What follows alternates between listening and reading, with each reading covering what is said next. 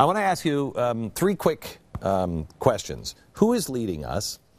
What is it they believe? And where are they leading us? Where are they taking us? What are they building exactly?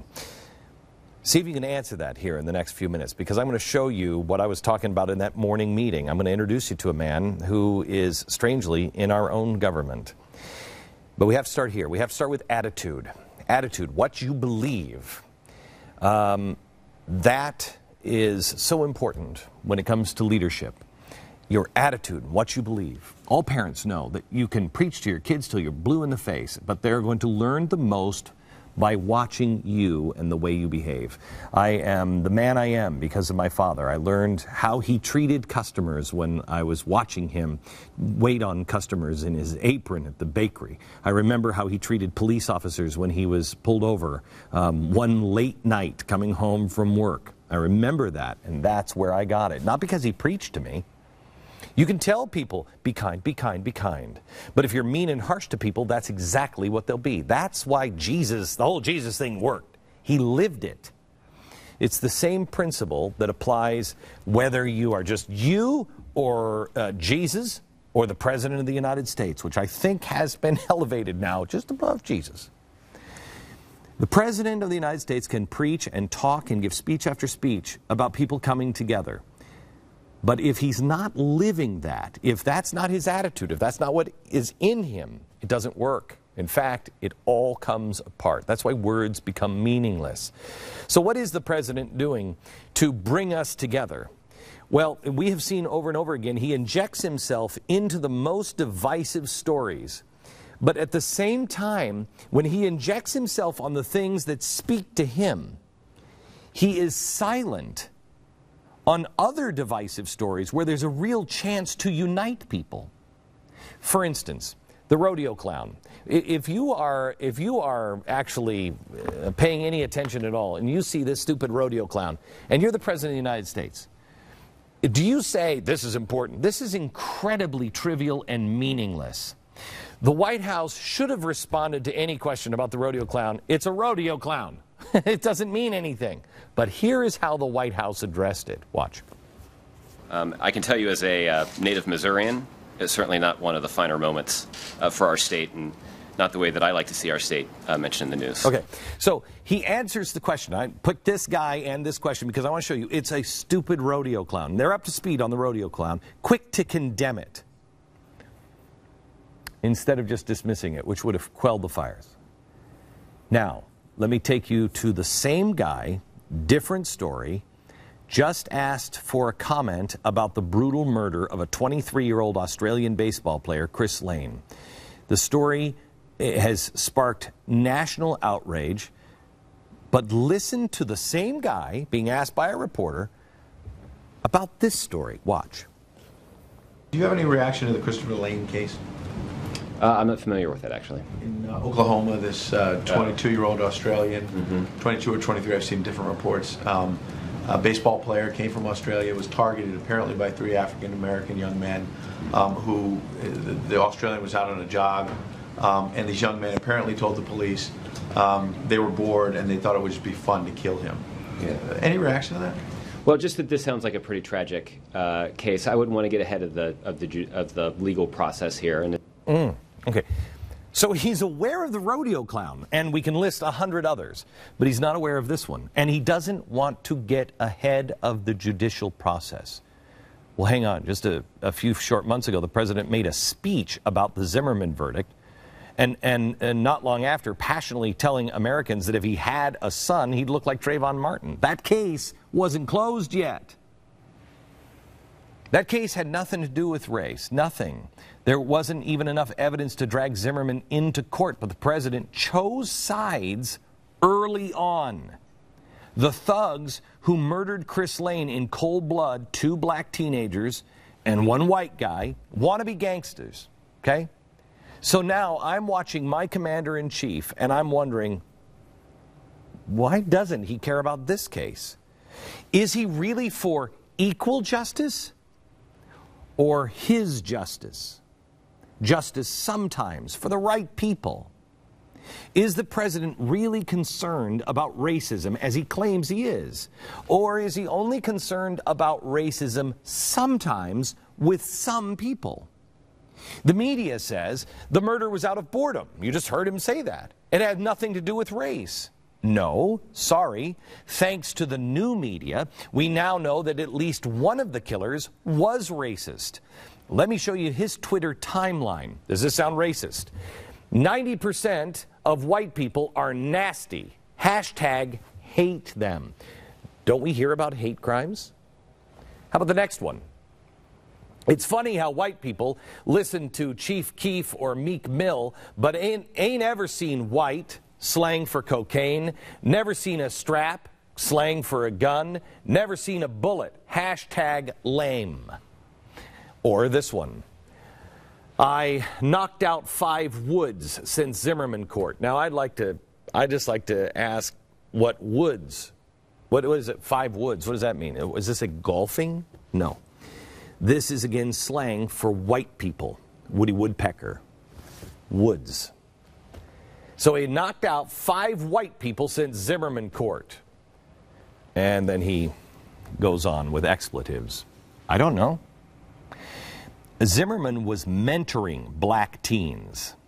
And while he may have been an overzealous wannabe cop, and I don't think he was necessarily a good guy, you have to you have to understand that the fact is he went to the police station in defense of a black homeless man. He was mentoring black kids. He's not a racist. A wannabe cop went out of control, whatever, but not a racist. Yet the president chose to make that story about race. Why? And why no comment this time? Why no comment with all of the murders that are happening in Chicago? You can make your own decision, but here's the, here's the real question What are his actions teaching people? Where is he leading us? What is he building? Well, he's building a society that says justice is not blind. Equal justice no longer exists. In fact, the Department of Justice should consider a name change. Maybe it should be the Department of Social Justice, and don't think that they would fight you on that one. As I said in the opening, that was from the morning meeting about 7 o'clock this morning. We were talking, and I, and I, I mean that. We were having a high level meeting the other day, and somebody said, Well, Glenn, we, we really could bring this to the Justice Department. And when I laughed out loud at that thought, I thought, How sad is this? That we were supposed to make progress. We're supposed to, we are supposed to continue to move forward. We've gone back to I don't even know.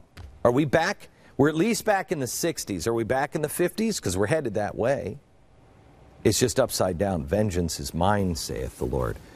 But I don't think there's a lot of people in Washington anymore. I, I think they either think they're God or they believe that vengeance is theirs. The Department of Justice can't even leave, live up to its own name anymore. So, if you got a problem, who do you go to? Well, maybe the president can explain. We cannot continue to rely only on our military in order to achieve the national security objectives that we've set. We've got to have a civilian national security force that's just as powerful, just as strong, just as well funded. This has been a point of controversy since he said it, um, and anybody brings it up, they're immediately painted as a um, conspiracy freak. But there's no way to explain that. What the hell does that even mean? A national security force just as strong as, as the military? What is that? Well, a lot of theories. But the DHS seems to be becoming that national police force. They are everywhere. They are everywhere. They have their cars everywhere. They're becoming your local police. Why? They're buying up bullets like crazy. Why? Well, let me throw a really spooky log on this fire, just on the bullet part. Let me take you to a website called War on the Horizon. It was created, and I want to quote the website, it was created for the purpose of preparing black people worldwide for the unavoidable, inevitable clash with the white race. whites around the world are absolutely determined to exterminate African, knows it's knows the way it's spelled, African people in all corners of the earth. As a result of this reality, WOH, that's the website, has dedicated our time and expertise to properly educating black people to prepare for racial warfare. Would you say this one is racist? Do you think this is a racist website? The man who runs this website calls himself the irritated genie. He says, quote, Warfare is imminent, and in order for black people to survive the 21st century, we are going to have to kill a lot of whites, possibly more than our Christian hearts can count. Wow. Now, this website, who's running it?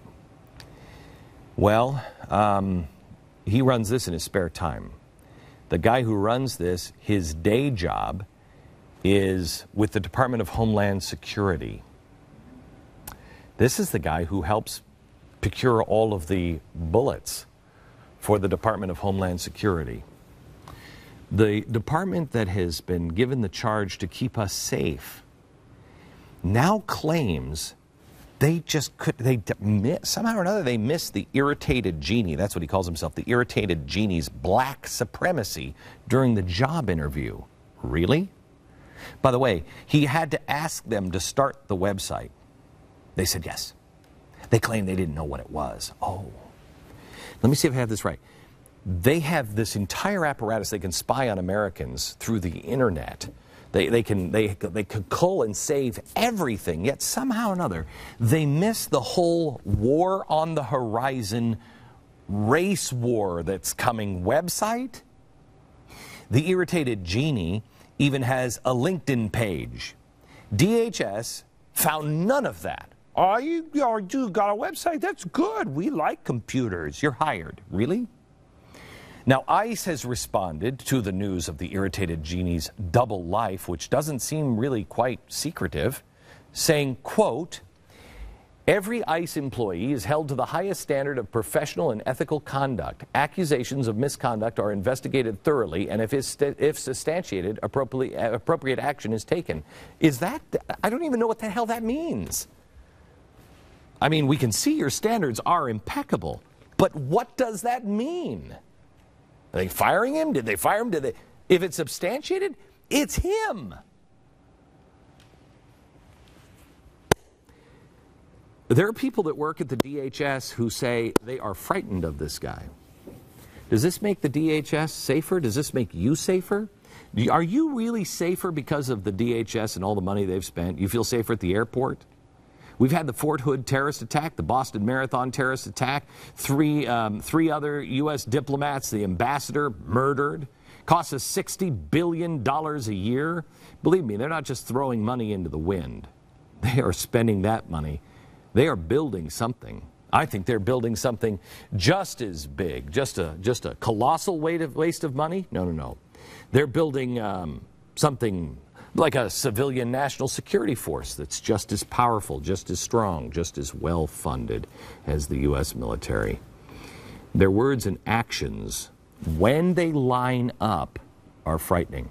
When the president's words start to line up with his actions, you get a breathtaking glimpse he spoke flowingly during the Arab Spring, and his administration supported the Muslim Brotherhood vocally, and their actions met their words. And when that happens, they're rarely pro America. His actions speak louder than his words. His actions and his words are still pro Muslim, uh, Muslim Brotherhood. But his words now have become more and more silent, but he keeps moving. His actions to move on Trayvon Martin met his words. I could have been Trayvon. But neither words nor his action met, meet the uh, sentiment the country uh, after the shooting in Oklahoma. None of them meet what he says he, he cares about real justice, but where, where, what? He didn't want to get involved in that one. As much as we say the government has a responsibility to protect, because that's what they claim now, we have a responsibility to protect, and they will lose, they'll move on lightning speed. You watch, they will move on Syria, but they will say nothing about the Coptic Christians. You notice Their responsibility to protect ends with the Muslim Brotherhood. It ends with radical revolutionaries. It ends unless you're a person of particular color or a particular category of people. I can't tell you any more information about this government and what it is turning into and convince anybody else. If you're not convinced yet, you're never going to be convinced. So let me just talk to those people who see any truth into what I have been saying. Forget about them. Your action, my actions, our actions as a group of people our actions and our words must match at all times. Let us be for all classes of people. Let us be for all colors of people. Let us be for all people of faith or lack thereof. Let us judge people by the content of their character, not the color of their skin or anything else at all times. And realize that if we don't, America will quickly arrive at a dangerous destination because this administration is teaching by example and people are learning. I asked you who is leading us at the beginning. Let me tell you, I think I wrote this down right before we went on the air. A man who sides with the Muslim Brotherhood, who views white America much the same way as Jeremiah Wright does. The next question is what is it they believe? Well, they believe that the collective is more important than the individual, and they should be in charge of the collective decision making. And where is it they're leading us? God help us all, but if that's somebody you put a, you put a communist in as your green jobs czar, and you've got this guy buying all the bullets for the Department of Homeland Security, I don't know. It sounds to me like you're taking us towards revolution. Coptic Christians right now are facing possible genocide at the hands of the Muslim Brotherhood and radical Islam, and the president is silent. Don't you dare be silent. Don't you dare be silent. Go to the website, go to Twitter, uh, go to your Twitter account, go to my Twitter account, grab, um, um, grab the filter, get it on Facebook, grab the filter. Le- that's the least you can do. It says, I am Coptic. Let us all speak out consistently. We cannot be silent. Even though he, he is silent, his message is loud and clear. Truth, equal justice, and the American way no longer exists in Washington.